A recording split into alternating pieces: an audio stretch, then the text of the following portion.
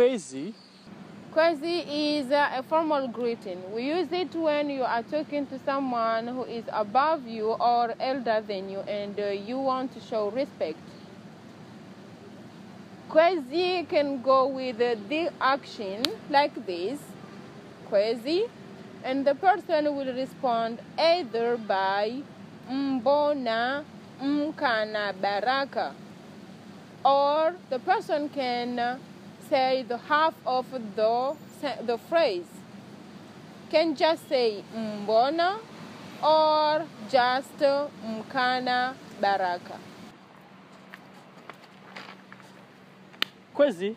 Mbona mkana baraka you can just also say kwezi without the action